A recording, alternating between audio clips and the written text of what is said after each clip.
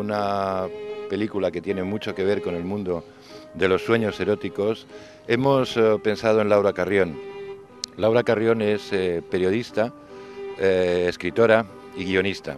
Como periodista a todo terreno ha trabajado en el mundo de la prensa escrita, la radio y la televisión. Y como escritora es autora junto a la también periodista Sonsoles Fuentes de tres libros. Pasen y vean, un libro sobre el mundo del intercambio de parejas y del ambiente liberal. Y Dímelo al oído, y lo que de verdad nos pone, dos libros que tratan sobre las fantasías eróticas, muy especialmente sobre las fantasías sexuales de la mujer. Laura Carrión, atada, rubia y en un bosque. Esto parece Belle Esto parece Belle y yo me siento igual de frígida que en Belle porque hace un frío horroroso. O sea, la frigidez en esta ocasión viene de frío ambiental. Sí, eh, creo que algo deberás hacer para romper este ambiente tan gélido. Ya que me has atado, Vamos a intentarlo. Con la fantasía. Vamos a intentarlo. Lo que pasa es que me habría gustado haberme traído el látigo y lo que son las cosas de producción no, no me lo han traído. Bueno, otra vez será. Eh, Aquí estaré.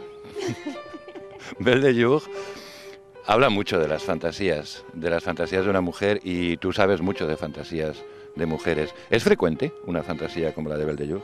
Hombre, pues la verdad es que las mujeres siempre a la hora de tener fantasías de dominación se ven en el papel de sumisa, que es justo como se ve Catherine Deneuve en Belle de Jour porque, bueno, de alguna manera aún a la mujer se la educa para que no demuestre mucho interés por el sexo.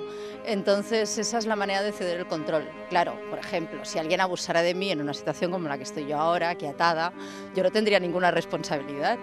Es aquellas situaciones en las que si tu mamá te estuviera viendo, tú dirías, mamá, ya ves que no puedo hacer nada, no es que haya provocado esta situación, no he buscado yo el sexo. Y luego, por otro lado, a las mujeres les gusta mucho sentir la virilidad del hombre, la dominación. O sea, en ese sentido, el hombre metrosexual no triunfa todavía entre las mujeres españolas. A la mujer le gusta el hombre viril, el hombre que la posee, que en un momento dado la tira contra la pared o encima de la mesa y le pega un polvo salvaje. ¿no? A mí me comentaba en uno de los reportajes que hizo un gigoló que eso era, iba en función mucho de la anatomía, ¿no? la femenina y la masculina. El hombre para el acto sexual necesita penetrar en la intimidad de la mujer. Si la mujer no es un poco sumisa, el coito no es placentero, tiene que dejarse. Y el hombre tiene que penetrar ahí con toda la brutalidad. Entonces, en ese sentido, las fantasías de dominación masculina son fantasías muy, muy frecuentes en la mujer. En su momento la película fue eh, tachada de machista. Sin embargo, tengo entendido que las fantasías sexuales de las mujeres frecuentemente son eh, o tienen componentes machistas. ¿Es cierto esto? Pues sí, la verdad es que lo políticamente correcto, afortunadamente, la imaginación no hace mella y eso es bueno porque es bueno no autocensurarse cuando fantaseas. Entonces, en ese sentido, las mujeres, aparte de sentirse sometidas por el dominio del hombre, sentirse vejadas muchas veces, pues también suelen ser las que adoptan el papel ese pasivo de ese hombre o esa mujer me ha conducido, me ha conducido a un estado de éxtasis. También hay mujeres que sueñan con ser dominatrix o, ser prostitutas y tener ella el poder sobre los hombres. Pero en general las mujeres siguen adoptando ese papel pasivo de que él las conduce al éxtasis. Eh, claro, en ese sentido, el, marido de Catherine Deneuve en la película, claro, es tan bueno, es tan educado, tan respetuoso. Claro, para el sexo a veces también te tienen que perder el respeto, porque si no, y eso pasa mucho entre las mujeres eh, españolas, que se quejan de que al marido le ven demasiado mimosín. O sea, es tan bueno tan educado, tan respetuoso y tan correcto que les quita la libido, ¿no? O sea, a veces un, buen azote o un aquello, aquí estoy yo, es lo que las mujeres están deseando, cambiar ese rol, ¿no? Y en un momento dado que estén ellas fregando los platos y el hombre les vaya por detrás y se lo haga así en plan rápido y salvaje. Y hablando de hombres, en lo que de verdad nos pone también se habla de fantasías... Eh, sexuales masculinas.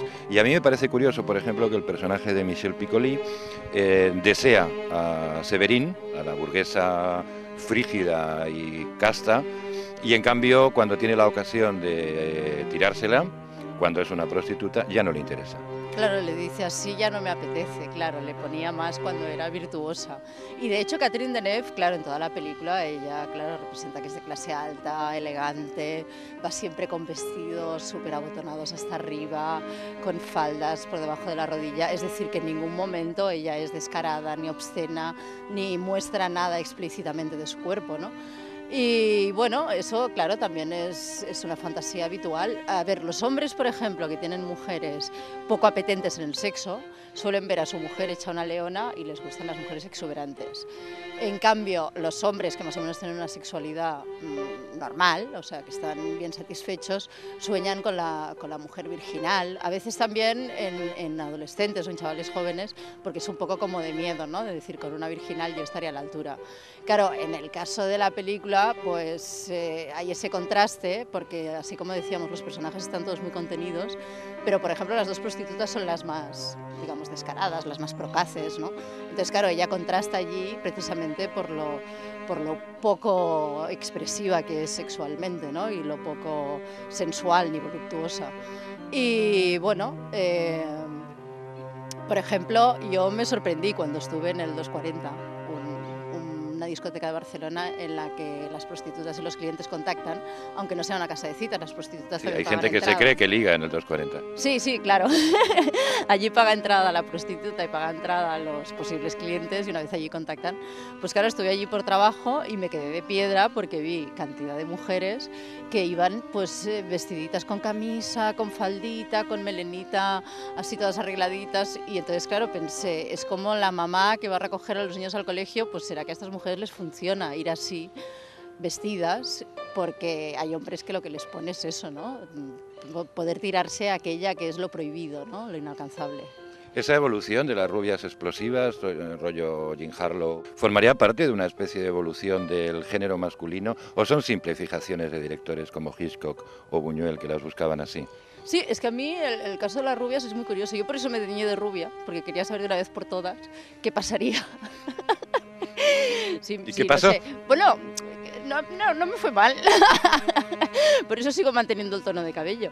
Pero es verdad, o sea, las rubias gélidas que a Hitchcock tanto le gustaba, como Tippi Hedren, eh, para los más jóvenes diremos que es la mamá de Melanie Griffith, para los que no lo sepan.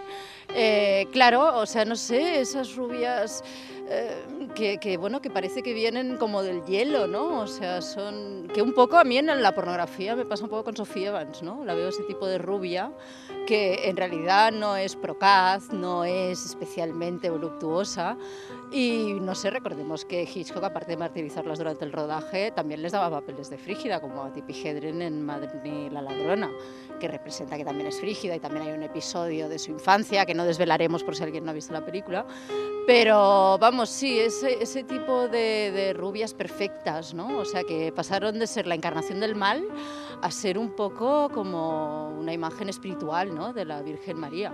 Pero es verdad, algo pasa con las rubias, ¿eh? No sé, ya lo decía aquella película que los hombres las prefieren rubias pero se casan con las morenas. Sobre todo con las rubias atadas, ahora hablaremos tú y yo. La película no se ve prácticamente ningún desnudo. Eh, pero es muy erótica, está cargada de los fetichismos de Buñuel y, y, tiene una intensidad sexual grande. ¿Por qué no se hace ya ese tipo de cine? Qué lástima, ¿no? Bueno, claro, porque parece que a la que se destapó la caja de Pandora, y nunca mejor dicho, ¿no? Pues ya tenía que salir todo hacia afuera, ¿no? Tetas, culos. Es verdad, en toda la película la vemos a ella en sujetador y bragas o de espaldas, y la única vez que se le ve el culo con una transparencia es porque también tiene un encuentro con un hombre necrófilo. Que sí, porque hay todo un surtido de perversiones. Sí, sí, sí, desde luego. Los hombres que salen en la película, o sea, son un, un muestrario, pero, pero total, ¿eh? Es que incluso el marido es perverso porque de tan bueno de tan poco sexual, también dices, este tío también es raro, ¿no? O sea, porque además guapo podría buscarse a otra y no, no, el tío allí aguanta estoicamente. O sea, que son todos muy raros, ¿eh? realmente.